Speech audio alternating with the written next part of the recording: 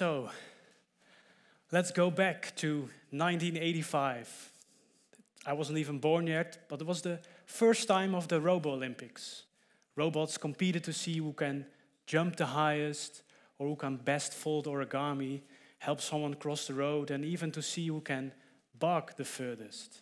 It's true, a long distance barking competition. At least that's what this robot told me. This is Hero, and Hero asked me to be its coach for the upcoming Robo Olympics. Isn't it, Hero? Hey, Mike. It is cool and all that you are giving this talk. But we should really prepare for the long distance barking competition. I am not sure about my bark. Can you give me some feedback? Well, it needs to be a bit louder. I am not sure how to do that. Why don't you show me how it is done? You mean right now? Yeah, Fine. Wuff, wuff, wuff. that was hardly any louder than my bark. Try again. Wuff, wuff, wuff, wuff, wuff, wuff. That was amazing. I just might use that one. Okay, great. Well, this was one of the conversations children can have with Hero. And these conversations are designed to, to um, reduce stress for children with cancer in the hospital. And it were the children themselves who named the robot Hero. It clearly signals what they need in the hospital. And although that this hero cannot cure them, it can brighten their day through the stories they create together. And in those stories, the child gets to be the hero and help, and, and help the robot, like becoming its coach for the Robo Olympics. And with this simple yet powerful narrative, a lot is achieved. By needing help, the robot is painted as imperfect, and it not only um, makes children more forgiving towards mistakes made by the robot, it also reduces their expectations because if they expect too much, they get disappointed and they, uh, the magic goes away. This narrative of needing help also gives children a purpose. It's a reason for them to keep interacting with the robot, but it also gives them a sense of agency in the hospital, a place where this is heavily reduced. And creating these meaningful interactions between people and robots is not easy. I would even argue that it's the main reason why we don't see a lot of these social robots in our society yet. The technology in terms of robotics and artificial intelligence or AI is mostly there. Yes, of course, a lot of, a lot of things can be improved, but not enough to explain why, we, why these robots aren't- aren't deployed on a much larger scale. Companies have tried and failed.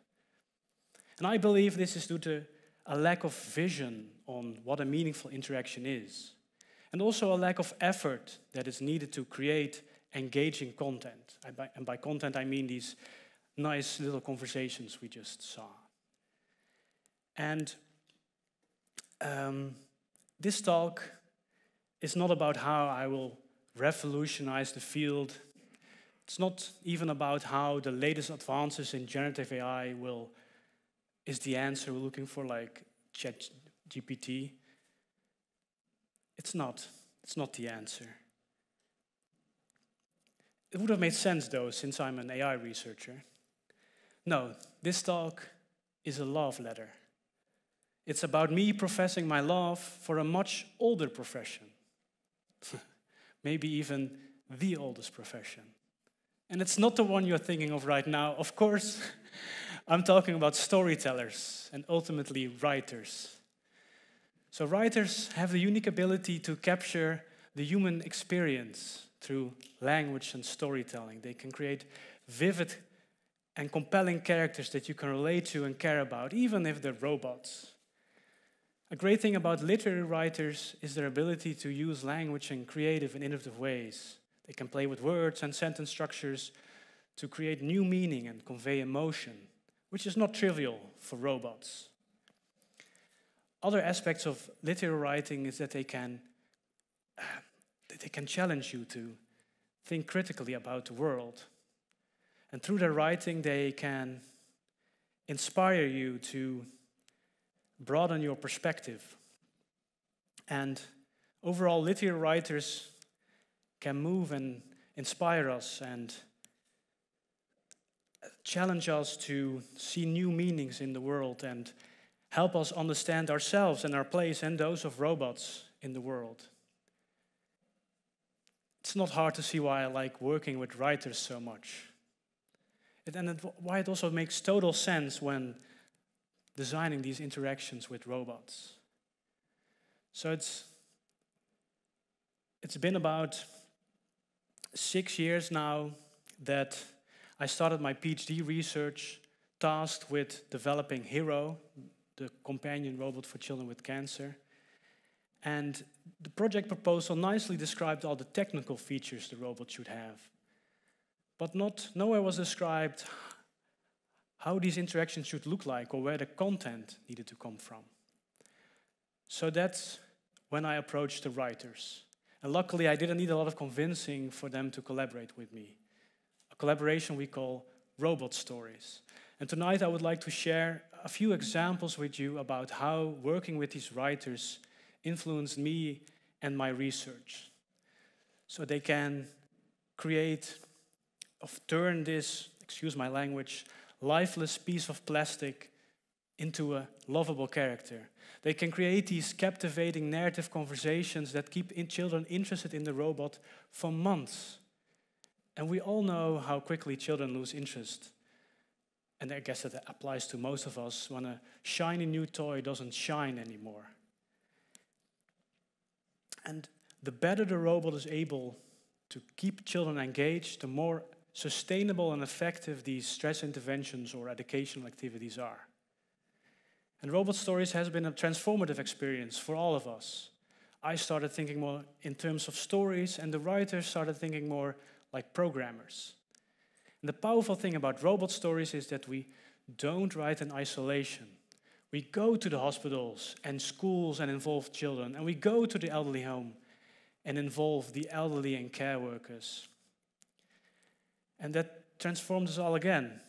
It enabled us to incorporate the actual needs and values of all the people involved, and not just fictional ones. Writers are also excellent speculators. Sure, everyone can come up with these apocalyptic scenario, but how to shape a more realistic and optimistic tomorrow. So by situating themselves amongst the people and the robots, writers can safeguard the needs and values of everyone involved and pave the, pave the way forward.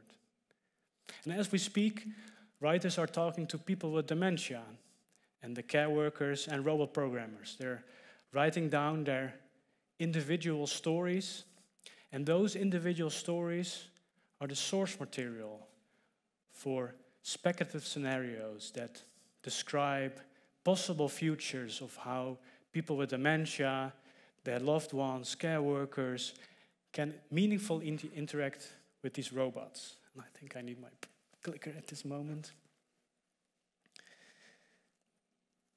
That's me. And however big or small these interactions may be.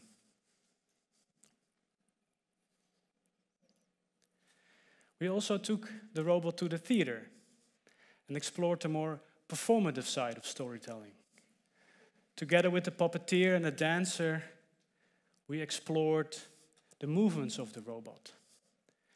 And this robot, for example, can stand up by itself when it falls over. It's a standard functionality, it takes about 30 seconds. But when playing around in the theater, we discovered that you can change the setting, uh, the speed setting of this getting up sequence. And if you put it to 1%, it takes about eight minutes to get up.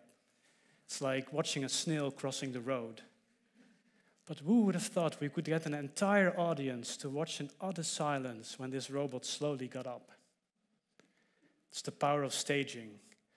A dark theater with a bright spotlight on the robot.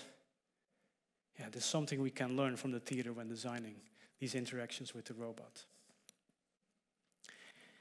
And the interesting thing was this, though. At 1% speed, the robot was able to complete the whole sequence except the final motion. It lacked momentum and fell over again. And the audience was furious. So, yeah. But the most fulfilling thing of my job is to take these robots into the world and do so called user studies. And I would like to share uh, some anecdotes from these user studies. So, once going to a school, I could set up the robot in the gym, and this, this gym had a, a big window conveniently positioned next to a playground. You can probably guess where this is going. I literally had to stack gym mats to cover the windows because children would glue their faces to the window to get a glimpse of the robot. And some started even bonking on the, on the windows to get the robot's attention. And surprisingly, this was no different when visiting an elderly home. They too took every chance they got to peek into the room where the robot was located. Not to say that they behave childishly, but rather that people remain curious throughout their whole life. We should nourish that. And when working with people with dementia, we use this robot. this robot we call Memo. You can probably figure out why it's called like that. Not everything the writers come up with is as deep as, and clever. And I also want to share some memorable moments from the elderly home with you tonight.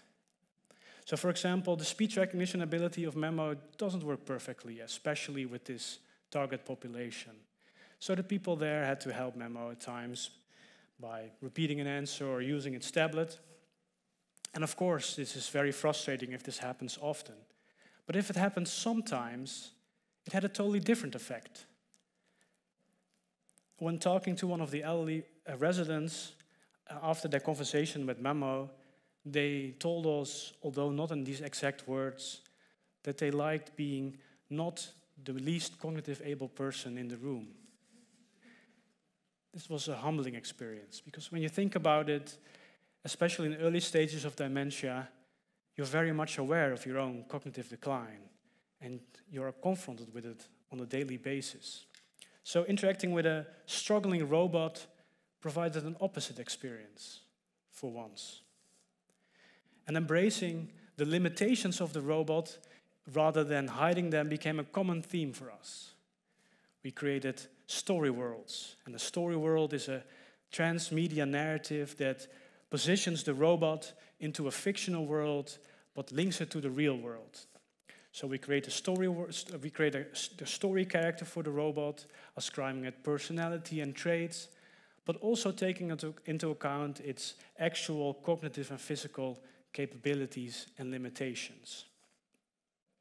And we also create these fictional goals the robot wants to achieve uh, in the fictional world, for example, become Olympic champion.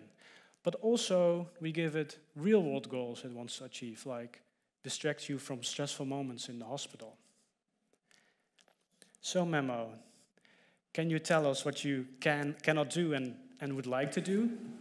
Well, I cannot smell because I have no nose. See? I also cannot take long walks on the beach.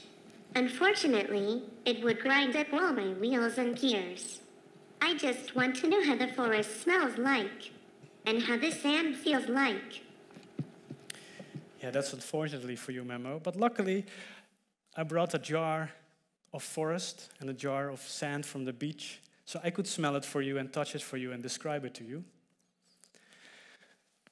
And this is what we did in the elderly home as well. So Memo would ask if people there would like, like, like the forest more or the beach more. And then based on their preference, Memo would ask them this same question, can you smell the forest for me? And we brought the same jars and people would smell, the, smell it and describe the smell to, to, to Memo. And Memo would ask, oh, what is your favorite moment from the forest? And people would tell Memo. And we learned from the care workers afterwards that some people told stories they never had heard before. And I'm not claiming that our approach really uh, fixes pe people's memories. The sample size was too low for that anyway. But rather that there is potential for the robot to stimulate people to tell different stories than they normally do. And if you have loved ones with Alzheimer's, for example, you know that they tend to tell the same stories and over and again. So imagine if Memo sometimes would join a family visit and ask these strange questions. it might facilitate a different conversation between family members. I cannot ask, you know, can you smell something from me? That would be weird, and that people might even think I was fooling them. But the robot doesn't have that limitation. So, all these examples that I just gave are, at least for me, proof of what a meaningful interaction looks like. It's just something that goes a little bit deeper than the normal things we aim for these robots to achieve, that have actual value for people. And I don't think I would have been able to do this all alone, without the writers, without the direct involvement of the children and the elderly. And I also don't think that an AI system can generate these rich conversations and story worlds for the robot without a true understanding of the human experience and without being physically situated in these contexts.